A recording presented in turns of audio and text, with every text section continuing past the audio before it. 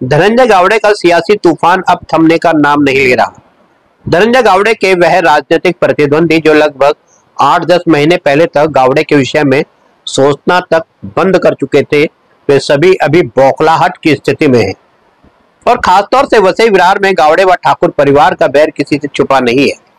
शायद राजनीतिक तौर पर गावड़े के पास खोने को कुछ न हो, लेकिन विरार के ठाकुर परिवार के पास खोने के लिए भी बहुत कुछ है। जो जो विधानसभा चुनाव नज़दीक आ रहे हैं वैसे ही वैसे धनंजय गावड़े की सक्रियता लगातार बढ़ती जा रही है। वही धनंजय गावड़े अपनी विशेष कार्यशैली के चलते गावड़े वर्तमान में जन जन के प्रिय बन चुके हैं। पूरे सप्ताह में कम से कम दो बड़े कार्यक्रमों में गावड़े भाग ले रहे हैं। वही कहीं ना कहीं हर क्षेत्र के बल्कि हर तबके के लोग लगातार गावड़े के स्वाभिमान अभियान से जुड़ते जा रहे हैं। वही लोग अब गावड़े के भविष्य के विधायक के रूप में देखना पसंद कर रहे हैं। और जिस तरह से गावड़े लगातार लोगों के बीच में अपनी उपस्थिति दर्ज करवाते हुए क्षेत्र के युवाओं के बीच अपना विशेष स्थान बना रहे हैं, उससे अन्य राजनीतिक दल और खास तौर से बविया से जुड़े लोग कहीं ना कहीं बौखलाए हुए नज़र आ रहे हैं। गावड़े इस समय उस मज़बूत पायदान पर खड़े हैं जहाँ से वह जीत के मुहाने पर खड़े किसी भी पार्टी के उम्मीदवार का राजनीतिक समीकरण बिगाड़ सकते हैं।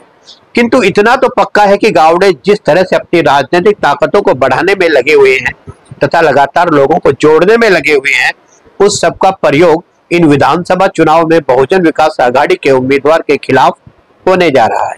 धनजय गावड़े नाला सोपारा विधानसभा चुनाव में अगर स्वयं खड़े नहीं होते तो वह किसी न किसी पार्टी के उम्मीदवार का साथ देंगे, किसका समर्थन करेंगे, यह तो नहीं पता। किंतु इन चुनावों में किस पार्टी का विरोध करेंगे, किस उम्मीदवार का विरोध करेंगे यह वह पहले भी कई बार बता चुके हैं। वही तमाम वर्तमान राजनीतिक परिस्थितियों का आंकलन कर हम इस निष्कर्ष पर पहुँचे हैं कि गावड़े की भूमिका इन चुनाव में बेहद अहम व महत्वपूर्ण होने जा रही है।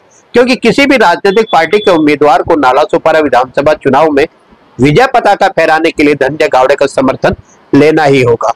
क्योंकि बिना धनंजय गावड़े के समर्थन व सहयोग के बिना किसी भी पार्टी के उम्मीदवार के लिए यह चुनाव जीतना बेहद मुश्किल ही नहीं, बल्कि असंभव नज़र आ रहा है।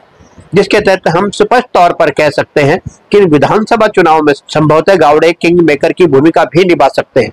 वे आने वाले कुछ ही दिनों में गावड़े की संभवतः भूमिका स्पष्ट होने वाली है और उम्मीद है कि जल्द ही सारे राज बेपर्दा हो जाएँगे।